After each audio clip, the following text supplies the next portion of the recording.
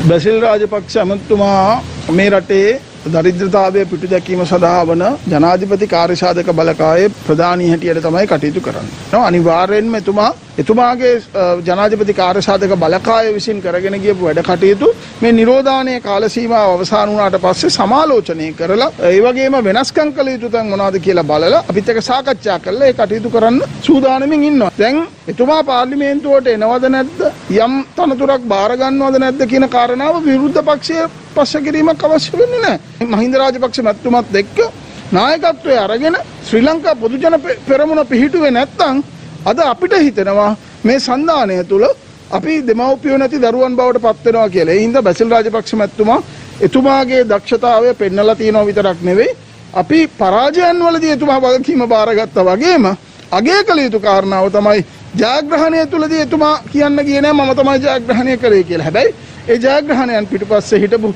ප්‍රධාන එක පුද්ගලයෙක් කවුද කියන එක අපි රටම දන්නවා ඒ බැසිල් රාජපක්ෂ මැතිතුමා. දිනපතා අලුත් වීඩියෝ සහ ප්‍රවෘත්ති නැරඹීමට ඉහත බටන එක ක්ලික් කර සියත TV සබස්ක්‍රයිබ් කරන්න.